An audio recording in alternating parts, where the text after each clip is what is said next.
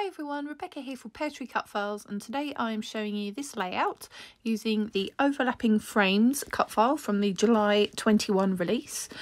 Now I have drawn it and I have cut it. So I've used my cutting machine to draw it there on some foundation paper and then I've used some textured basil cardstock to cut it.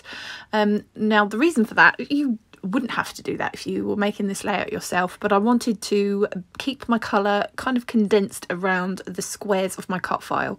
And so I wanted to know where my cut file was going to sit on top of my foundation paper. Now hopefully that will make sense as uh, as I go through the uh, process. Um, so you can see there that when it's sat on top you can't actually see the drawn lines um, but I wanted to know where those lines would be when I was doing this part.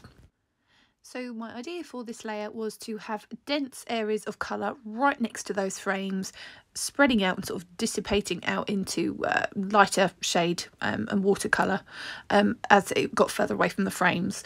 And I've used these Ecoline brush pens, which are so, so good, really vibrant and really soluble on this foundation paper. Um, and I've kind of selected a frame and drawn around that frame using a rainbow, uh, sort of a, a, selection of rainbow colours um, of pen. So I've laid down a first layer of colour, um, which I then obviously will use some just some water to soften those edges. Obviously you can see where I've used the pen, it's left quite a harsh line. I don't want a harsh line, I want it to look really soft. And that is what's so amazing about these pens because they really do melt away um, just like paint would. And it's the first watercolor pens I've had that really do sort of so, like um, dissolve like that.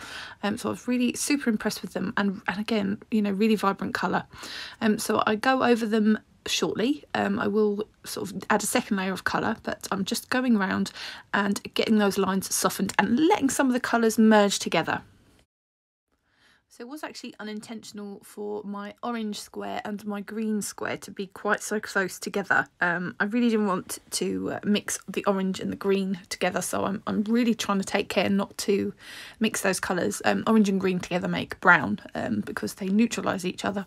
Um, and I really didn't want brown on this. Um, so when I've got wet green, I keep away from it with the orange paint and vice versa. So here I am, I'm adding a second uh, layer of that really vibrant uh, ink from those pens. And this time I'm trying to keep it really close to where that frame is going to sit on top and hopefully it's making sense as to why I have drawn that cut file onto that uh, foundation paper. I just don't see how I would have been able to know exactly where to put my colour if I hadn't drawn those lines on. Um, and yeah, I just used the draw function on my cutting machine to draw that.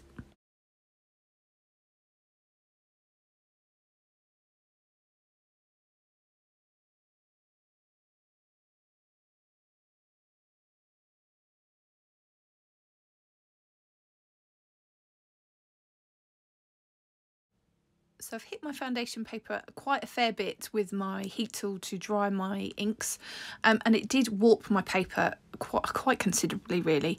That doesn't really bother me really in all in all honesty um, but I, I wanted to keep it relatively straight or straight as I could um, so I have mounted that whole piece of foundation paper onto a piece of uh, pattern paper from the Colour Study collection and I'm using that red line tape to really adhere it all down um, just to try and minimise some of that warping. And now I'm using those lines that are drawn on my background paper as a guide as to where to put some strips of uh, adhesive foam. Um, normally I stick my adhesive foam onto the actual cut file itself and then mount it, um, but it was quite handy having uh, it there down on the uh, on the background paper. Um, so it was pretty handy to have that guide there. And once that cut file's on top, you can't see um, really the drawn lines underneath. And the ones that I could see I have just kind of edited them out slightly with a white Gelly Roll pen. Um, so there's my photographs that I've selected. Um, they are photos of me and my little boy. Well it's only it's me taking photos of my little boy but we were having a Lego building competition and uh, during half term and you know dreadful dreadful rainy weather uh, so we were having a lego building competition at home and i got a really good action shot of his tower toppling over and uh, really was looking forward to uh, to scrapping it um, so hence i've used the title stacks of fun that is from the april 2022 release. Um, I think it's actually made for Haystacks, but uh, it, it really suited these photos uh, because we were having Lego Tower competition. And now I am securing my cut file down while I add some Distress Oxide brushing to the word fun. Um, I've used the shades Prize Ribbon and Salvage Patina, um, keeping Prize Ribbon down towards the bottom and uh, you know, I've kept the top of that word fun white um, just to add to that ombre effect. When I downloaded my Stacks of Fun title I and formatted it in my cutting machine, I also added a small border, um, which I've cut in black. Um, so I just thought it would help that title to, to really show against that really busy and colourful background. Um, so that was added on my machine rather than um, coming in the cut file but it's quite easy to do that on your cutting machine um, I've got a scan and cut machine and that um, to do that little background I've just used the offset line tool so I'm now sticking my photographs down. Um, I kind of wanted that sort of wobbly line, um, sort of reminiscent of those uh, Lego tower stacks. Um, so I've kind of stuck them in a line, but kind of on the wonk. um, and I've used some 3D foam to uh, just to support those because they're sat on top of the cut file, which is also uh, stuck up on uh, 3D foam. So yeah, just another little bit of foam underneath the photographs to help them to stay nice and solid and stuck to the page. And I've added just a little bit of uh, some of the embellishments from the colour study collection just to finish my page off.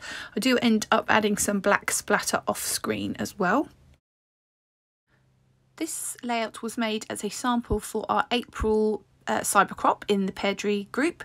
Um, the theme of that crop is when it rains and my challenge is look for rainbows. So when it rains, look for rainbows and what you need to do for this challenge is to use a rainbow colour scheme on your page. Now that challenge is still open until 10pm on Saturday the 23rd of April British summertime so please do join us uh, in the Facebook group and get some rainbow colours on a page using Peartree products um, so that you're in with a chance of winning some prizes, some beautiful Peartree prizes. So that is my finished layout. Thank you so much for joining me. I hope you've enjoyed this process video. Uh, please do give me a thumbs up if you have enjoyed it. And I will see you next time. This was Rebecca for Peartree Cutfiles.